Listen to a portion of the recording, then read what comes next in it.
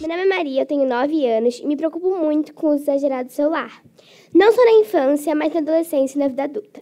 Olá, eu sou a Juliana, tenho 10 anos e acho que precisamos nos conscientizar sobre o uso do celular. Queremos saber quem na plateia tem celular. Pode levantar a mão. Nossa, todo mundo. Então essa apresentação é para vocês. Vocês devem estar se perguntando por que duas meninas de 9 e 10 anos resolveram falar sobre o assunto. Eu já tenho celular. Eu não, mas quero muito ganhar um. Será que eu uso o celular direito? Por que meus pais ainda não me deram celular? Qual é o problema dos celulares? Resolvemos descobrir mais sobre o assunto, então estudamos e entrevistamos alguns dos nossos amigos para entender na vida real o lado bom e o lado ruim do uso do celular. Não queremos falar difícil como nos cheios de adultos na internet. Queremos falar de um jeito que faz sentido pra gente. Então vamos lá. Veja essa pesquisa. Essa pesquisa foi realizada pelo Comitê Gestor da Internet. 89% das crianças entre 9 e 17 anos estão conectadas com seus dispositivos móveis. Dessas, 43% já sofreram discriminação de raça, gostos ou aparência, 31% foram tratadas ofensivamente e 21% aderiram a estratégias vistas online para emagrecerem. Às vezes, eu fico confusa lendo essas informações com por cento. Se tiver alguém que também se enrola, vou explicar de outro jeito. A cada 100 crianças, 89 têm celular. E a cada 100 crianças com celular, 43 já foram discriminadas, 31 ofendidas e 21 já tentaram emagrecer nas estratégias vistas online. Isso é muita coisa. Todo mundo aqui tem celular. Quantos será que já sofreram também? Será que as crianças percebem situações de discriminação logo quando elas acontecem? Será que nós conseguimos entender que estamos sendo ofendidos? Será que sabemos como reagir?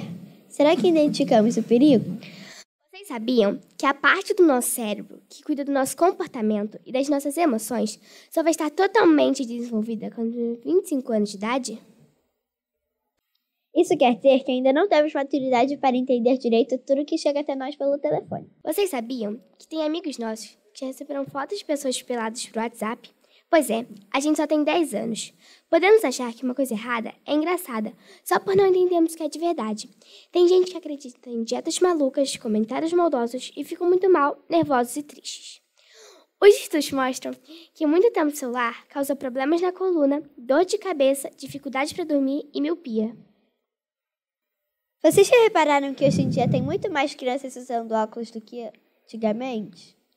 Para diminuir a chance de ter miopia, que é a dificuldade em enxergar de longe, devemos fazer pausas cada 20 minutos de tela, celular ou computador, e fazer atividades ao ar, livre. Eu, por exemplo, faço aula de patins. Eu vou pedalando pro vôlei. E vocês? Então vamos mostrar para vocês as perguntas que fizemos em nossas entrevistas e as respostas mais interessantes. Todos os entrevistados tinham entre 9 e 10 anos. Metade tem celular, metade não tem. A pergunta principal que fizemos em nossa entrevista era: Você tem celular? As que tinham responderam as seguintes perguntas: Há quanto tempo? Quantas horas você usa por dia? Tem limite de tempo? Você cumpre o limite combinado? Seus pais olham o que você faz? O que você acha disso? Você acha que o celular te prejudica em algo? O que você acha que pode ter de perigoso no celular? Você tem WhatsApp? Participa de grupos?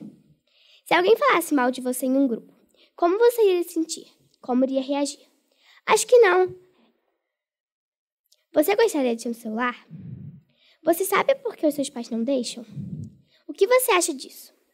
Você usa algum outro tipo de eletrônico? O que você acha que pode ter de perigoso no celular? Pode me dar dois exemplos? Essas são algumas das, algumas das respostas que eles, que eles nos deram. Meus pais não deixam eu ter celular porque acham que eu não sou responsável. Eles acham que eu não tenho idade. Uso três horas por dia. Não uso todo dia. Não posso usar depois das oito. Se falassem mal de mim em grupo, eu falaria para a pessoa que fiquei triste um comentário e sairia do grupo. Converso com amigos no WhatsApp, jogo e vejo YouTube. Acho bom que eles olhem o que eu faço, pois eu posso estar fazendo algo de errado sem saber. Vamos dizer aqui alguns dos perigos que nossos amigos responderam, mas é claro que tem vários outros ser hackeado, acreditar em contas falsas, baixar aplicativos piratas, golpes pedindo dinheiro, conversar com desconhecidos, diminuir a atenção nos estudos. Sabe o que percebemos? Percebemos com os estudos e com as entrevistas que precisamos conversar mais sobre o uso do celular. conversar entre si e conversar com os nossos pais, conversar sobre o que é certo e o que é errado. Nós, crianças, temos que entender que temos um limite de tempo. Não podemos falar com desconhecidos, nem acreditar em tudo que lemos. Tem muitas mentiras em grupos de WhatsApp. É como se disse uma fábrica de notícias falsas. E quando estivermos estudando, precisamos deixar o celular longe. Isso ajuda a prestar mais atenção na matéria. Quanto mais longe, melhor. Você terá preguiça de pegá-lo e continuará estudando. Os adultos têm que entender que não podem emprestar o celular sempre que a criança chora ou para distraí-las em refeições e restaurantes. Os estudos mostram que crianças só deveriam ter celular a partir dos 12 anos e redes sociais a partir dos 13, mas sabemos que não é bem assim. Precisamos do exemplo dos nossos pais. Muitos ficam muito tempo em eletrônico e não dão atenção para os filhos. Depois pedem para eles não serem viciados.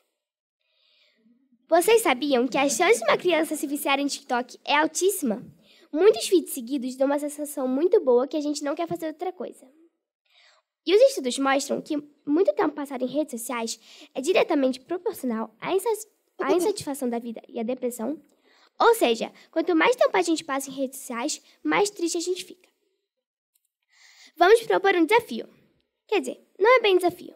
É só para provar que essa apresentação não é uma conversa de adulto para que crianças mexam menos no telefone.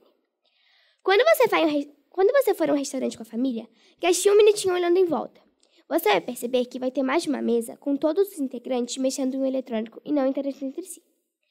Você não, você não precisa ir até a mesa deles falar, isso é errado. É só não fazer o mesmo, que assim você dá o exemplo. O celular é muito importante para nos comunicarmos, por segurança, para saber onde estamos e para facilitar a vida de muitas formas. Mas não podemos afastar as pessoas que nos cercam. Precisamos usar com responsabilidade. Fizemos essa apresentação para conversar o lado bom e o lado ruim do celular e, e percebemos que as crianças já têm bastante responsabilidade dos perigos. Mas precisamos conversar com os nossos pais sobre o uso adequado para a nossa idade. Mesmo fechando essa apresentação, sem concluir a idade ideal para uma pessoa ganhar um celular, fechamos ela com uma grande certeza. Precisamos conversar a educação digital. Obrigada, Obrigada pela atenção.